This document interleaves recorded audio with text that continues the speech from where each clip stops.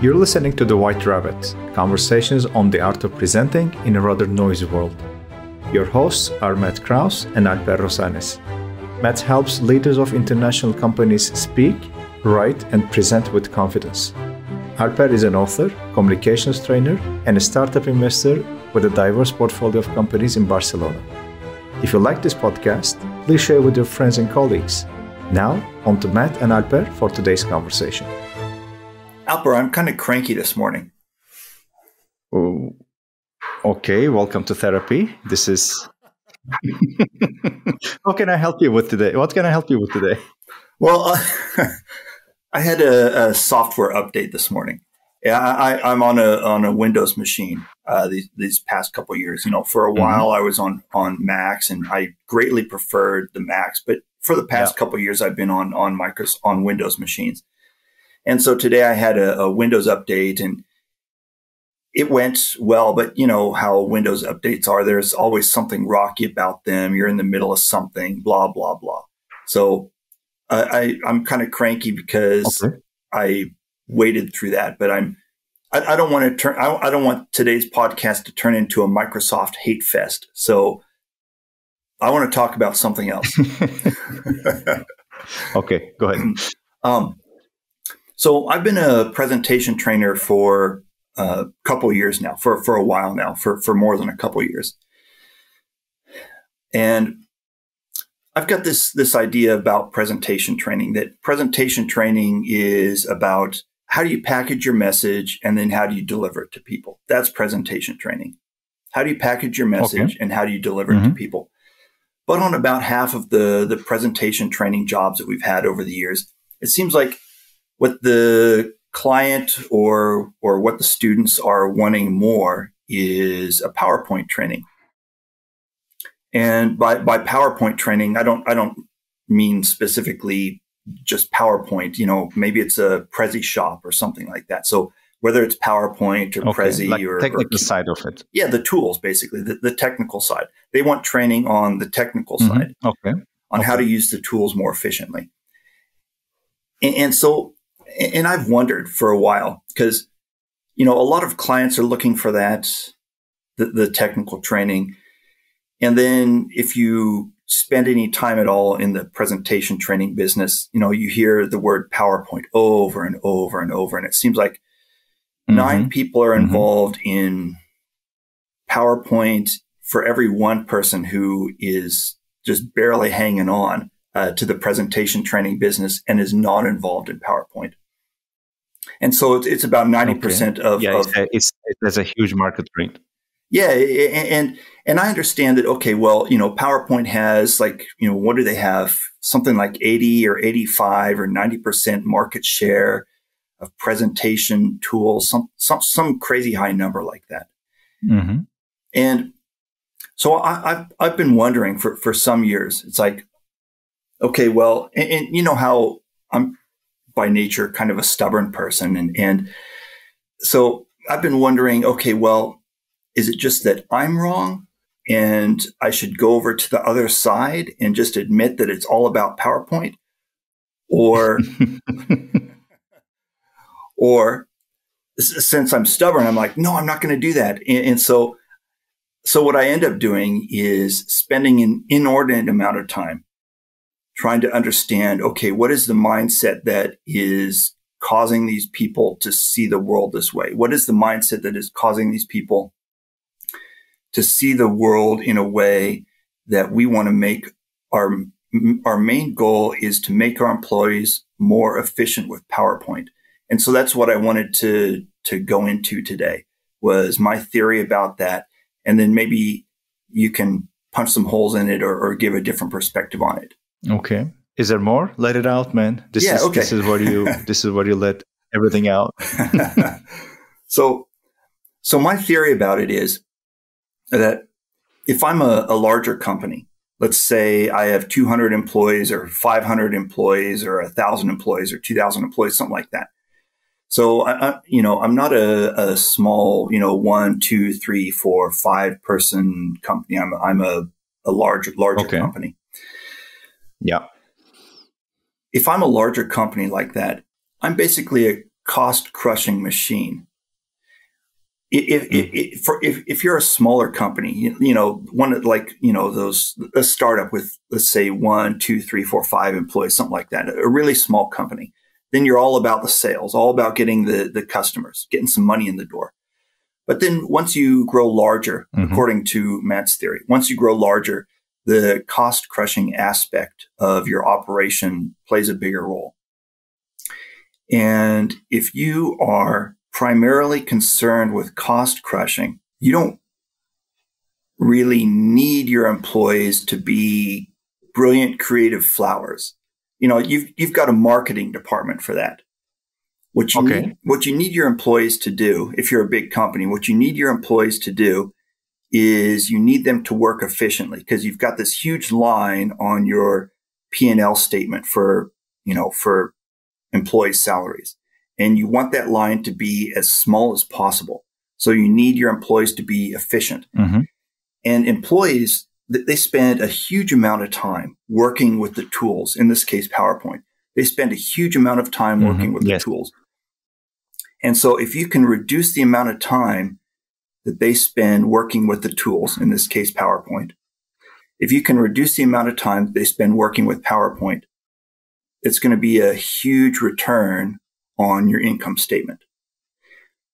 And so when you think, or when your HR department thinks presentation training, one of the first things that they think is let's make people more efficient and more effective with PowerPoint. Anyway, that's that's that's my theory. Tell, tell me what you think about that. Great, great. So you're trying to drive me out of business. Okay.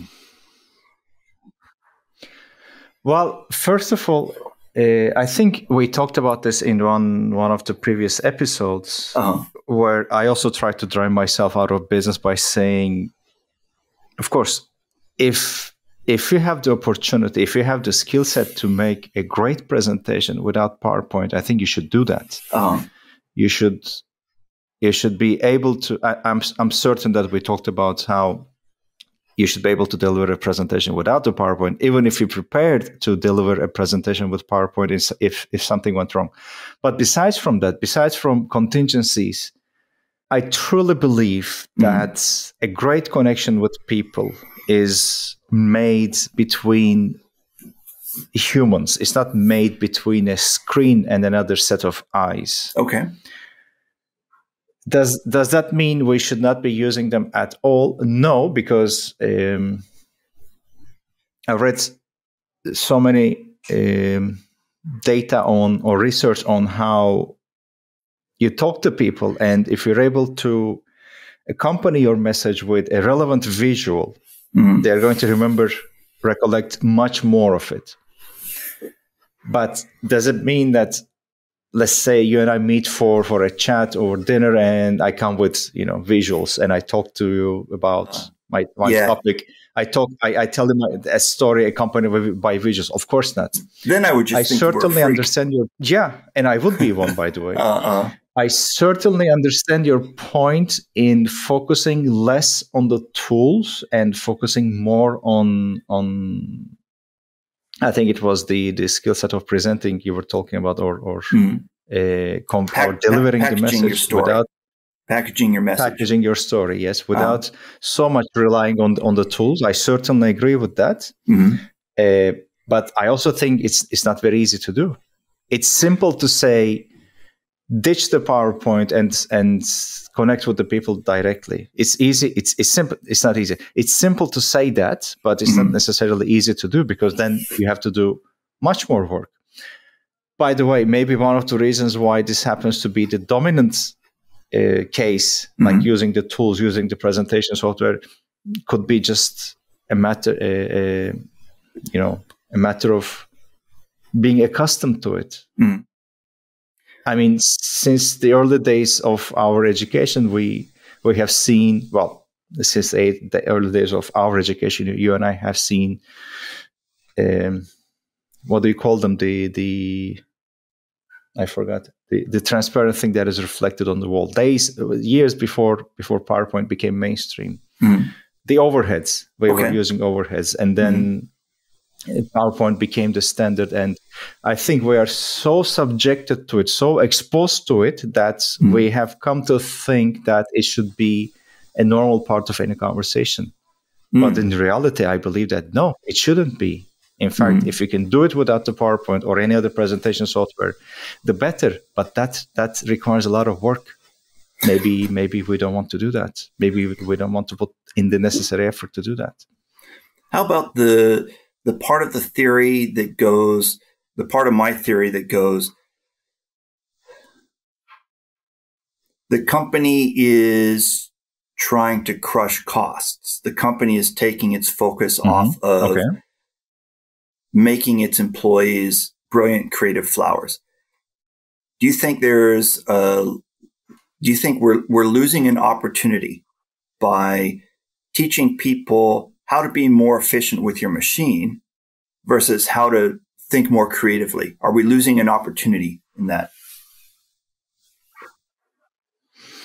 Well, I can only speak from my personal experience. And during those trainings where I'm asked to share more content about the use of the software, mm-hmm. creativity is not the focus of those trainings. It's not okay. the main demand of the company when they when they hire me. Mm, okay. But what we work on is okay, there is this tool. Somehow we have learned how to use it to this day, mm-hmm. and we have learned we have seen people use it. and we are replicating those methods of using this tool. Mm-hmm. Are there ways which we can use tool more effectively?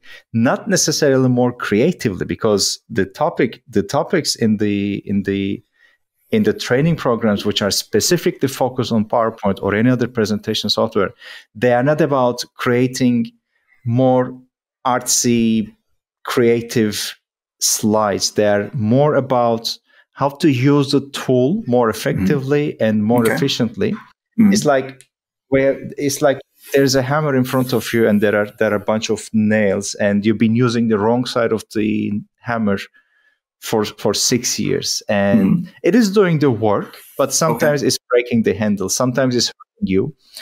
Uh, but there's a better way of using that hammer. I think the same mm-hmm. goes for powerpoint. The the idea is to be at least in the trainings to be able to use this tool in our disposal in a way which is more effective more efficient and which serves our goal better but not necessarily more creative mm-hmm. okay so i maybe hung up on that word that, that that you use as creative but that's usually not the focus of of the trainings yeah, yeah. And there's certainly the time saving element because you can you can waste so much time once you dig into the world of creating slides you can you can use you can lose not use you can lose so much time on on the color the font the background the animations this transitions etc etc uh, and i don't know why but the software comes with hundreds of features out of which you can easily completely disregard 80% and still okay. deliver a very good presentation with 20% of the features that, that are available on the software. So, yeah, the training more focuses on time saving or getting more efficient, uh, saving more time and getting more efficient, and not necessarily creating more beautiful, uh, more creative slides. So, in that regard, it could be it could be at the end of the day helping the company cut costs because maybe people would be able to do things more efficiently and and effectively mm-hmm. Uh, and not necessarily only focus on on the creative side. I don't so, know if if if that answers your question. Yeah so so i've got one more question and then we're we're running out of time so so we'll have to wrap it up after this one more question. But uh, let's say that so you're doing a, a powerpoint training and this employee, for example, an employee is sitting in front of you and or an employee of the mm-hmm. of the of the other company, of the client company. So the employee yeah. is sitting in front of you and the employee wants to wade off into this you mentioned that there, you know, of the 100 features that are available in any software, for example, PowerPoint, of the 100 features that are available, maybe only 20 are necessary. You've got in front of you a client who, or a customer, an employee who wants to wade off into the other 80. Do you bring them back to the 20 or do you, do you answer their question on how to better use the 80 features that probably they'll never need?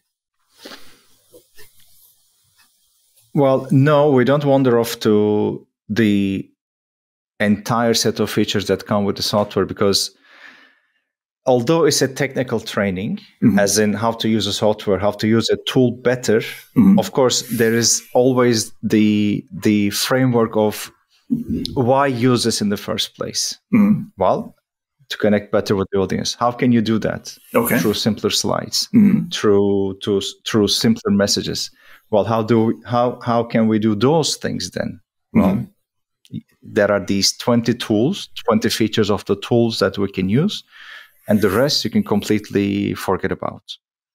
The idea is not to be able to use the software uh, with more capacity, not not to be not to have a complete understanding of how to use the software, but the idea is how to use this particular software so that it will help your overall goal, which is making a better connection with the audience. Okay. So and that so, usually goes. That usually is something you do through a simpler design, which eliminates the necessity to know every single feature of the software that comes with it. Mm, okay. So we're about out of time here. So so we'll wrap up, and uh, I promise mm-hmm. our listeners that in subsequent e- episodes we're not going to continue on Matt's crusade against PowerPoint we're gonna we're gonna have have something else to talk we'll about. We'll start with mine. Yes. okay. Yeah, I, have got to warn you, audience. Uh, one of us is Matt on an eternal crusade against tools, and uh, the other is an Apple fanboy. So you're in dangerous territory. okay. so so so that's enough for today. So thanks for listening, and right. uh, we'll talk to you at, on the next episode. All right, Matt. Good talking to you. Good talking to you too. Thank you for listening to The White Rabbit with Matt Krause and Alper Rozanes. You can subscribe to the podcast on Spotify, iTunes, or through your favorite feed.